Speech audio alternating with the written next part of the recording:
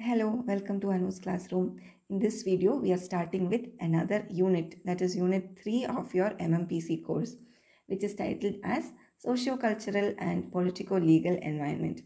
This is going to be another two-part video session and in this first session, we will talk about the socio-cultural environment and in the next session, we will talk about the politico-legal environment. So, every business operates within a certain kind of environmental surrounding, right? And that is termed as the business environment. And what do we know about business environment so far? We know many things. From the nature and scope of business environment, we know many things. And the most important thing is that business environment is never stagnant. It keeps on changing, it keeps on evolving. Therefore, it is becomes very important to monitor the changing events in the environment on a continuous basis as well. So, in this session, we will understand the impact of the social and cultural environment and the changes in social cultural environment on business.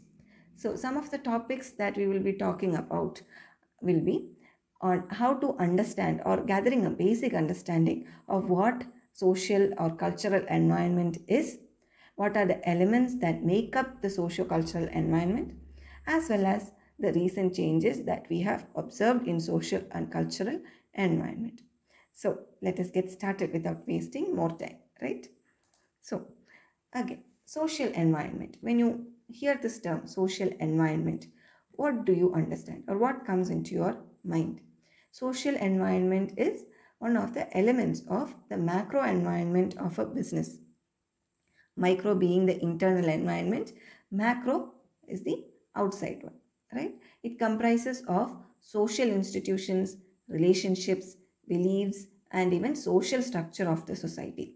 And in terms of business, the social environment of an organization will include things like the social values of our workforce along with the society within which the organization is currently functioning. So, everything the beliefs, the attitudes, the customs, and all the practices that are followed in the society, the social class, the lifestyle, preferences, social communities, social institutions, education, culture, even the government has a role to play in the social environment. So, as an exercise, I want you to just try to think of a few instances where such social factors, like maybe it is your attitudes or beliefs, or the particular social class that you belong to, or maybe the lifestyle that you are leading, any such thing, okay, have influenced your purchasing decisions. And let us know about those in your in the comment section of this video. So I request you all to sincerely take this up, take five minutes, think about it, and comment below. Please do this as a practice for quoting examples that might even be required for your term-end examination because if a question comes about social or cultural environment socio-cultural environment it will be best to quote it with an example this is something which i stress always wherever whenever possible i stress this. It is very important guys when you're writing your answer for term-end examination make sure that you also quote relevant examples. Whether the question asks it or not doesn't matter. You quote with examples. That will help you score good marks. Okay? So the next aspect that we will be talking about in this session is about the cultural environment. So culture. What is culture? How do we explain or define culture it is very difficult right? To just pinpoint a definition for culture is quite difficult. It is quite challenging. But one thing what we can say is that it is a complex combination of many things like the morals the customs the law art belief knowledge and any habits that could be acquired by an any individual member of a particular society is a part of the culture of that society. So it is something that is embedded in the way of life of the people belonging to a particular society. So in other words, we can say that culture is a product of social interactions among humans and it could determine the human behavior too. So cultural environment is concerned with the culture within which the organization operates and includes the culture of its target market as well as the workforce. So if the company is operating in a totally different culture which has no link toward to the culture of the people that they are serving or the employees that they employ, it is going to be very difficult for the firm to thrive there, right? So cultural environment again contains a number of important elements like the knowledge and belief of both your target market as well as your workforce, the religion, language, ethnicity, all these things become quite important.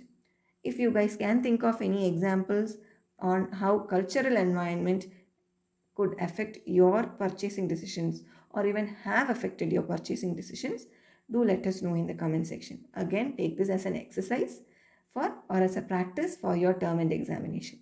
Alright. So, in the current scenario, how is the social or socio-cultural environment affecting businesses? In many different ways. Only a few we are mentioning over here, but I'm sure you would be able to think of much, much more current situations where socio-cultural environment is affecting our purchase decisions or the current recent trends are affecting our purchase decisions or even how businesses operate today right? For example fashion trends. This is one very easy to spot thing. Fashion trends keep on changing every few years. You think about it the especially girls will relate to it right? What type of kurti or what type of pants or what type of sari design was in trend last year is out of fashion now. Now it is a new trend. Anushka is wearing a new type of shoe uh, new type of dress right? Shraddha is wearing a new type of watch things like that right?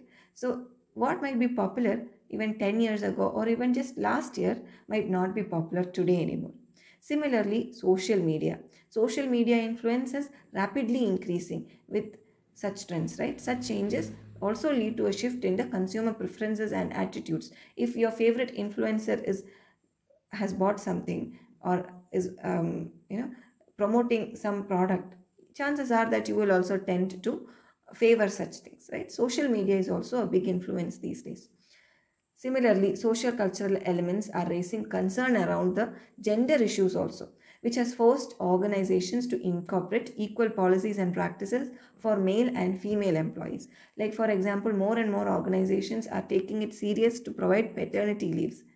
Maternity leaves were definitely a thing but nowadays paternity leaves are also quite normal. Similarly, a rise in population, which has resulted in a constant need of urbanization, even in India. Even small, small villages are turning into uh, what you can say, upgrading themselves into at least small, small townships, right? If not major cities. So, India, again, being a multi-diversity nation with mixed cultural race, in order to deal with people from different cultures, again, one has to be very careful about their business practices. So, communication style, management style, all these things, since they vary among different cultures, we should be very, very careful. So, it is not like earlier MNCs which used to operate in various nations need to think about multi-diversity but nowadays it is not like that you start something up in Kerala, it's not just Keralites who are going to come and work, right? Or you start something in Mumbai, it is not just Mumbaikars who are going to work there. People from all across the nation would be applying for positions there. So manage and everyone, India is like many countries in one, right? Many, each state or even each district has their own distinct practices, socio-cultural practices. So it is as good as managing an MNC in India if you set up a business. So all these things affect are businesses. So these are current scenario of social cultural environment. So I hope you guys got a basic understanding of what social environment is, what cultural environment is, what are the various elements that make them up as well as the current scenario of how the current social or cultural environment is affecting businesses. So don't forget about the little little practice exercises that I've been talking about in this session do I am definitely eagerly waiting for your comments. So I hope this session was useful to you. We will catch up in the next session where we'll be talking about the political legal environment. So until I see you there, it's goodbye for now.